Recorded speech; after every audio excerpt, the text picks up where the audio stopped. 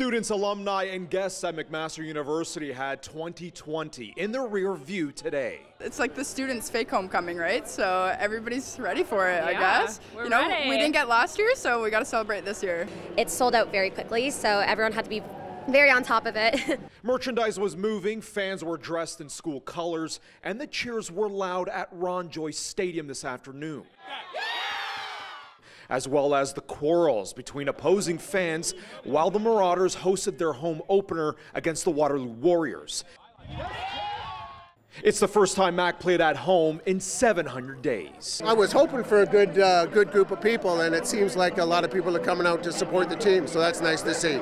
McMaster's official homecoming isn't until October, but students say that's not the case for them after a tumultuous year of COVID 19. I feel like a first year, but it's okay. Yeah. Uh, definitely a sense of normalcy is is back. It was definitely hard. Like making friends online and stuff was more difficult than like in person. Unless of an exemption, only the fully vaccinated can enter campus for classes and games. Today, fans had to use the app MacCheck, a tool where you can upload your vaccination certificate and daily screening.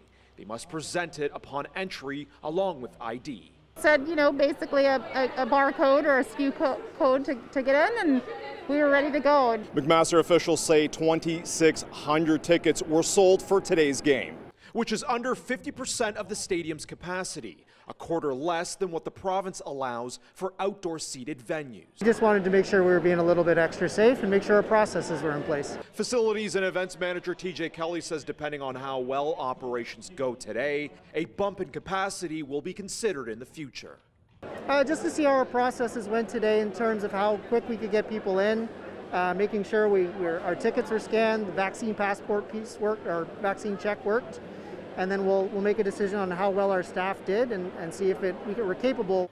As for the weekend, students say it was everything they hoped for. I know a lot of people missed out for a year, so I wanted to hold back and see, fingers crossed, hopefully things will get better. And look where we are now. We get to be at football games and get all these opportunities that a lot of people did miss out on.